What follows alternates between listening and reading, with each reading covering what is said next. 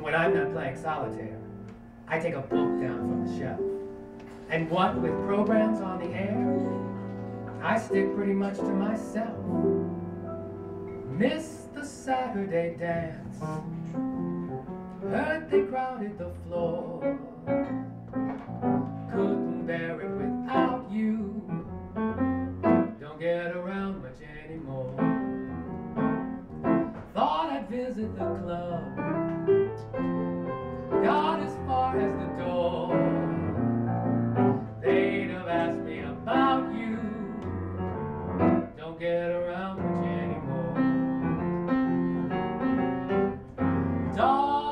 I guess. My mind's more at ease, but nevertheless, why stir up men?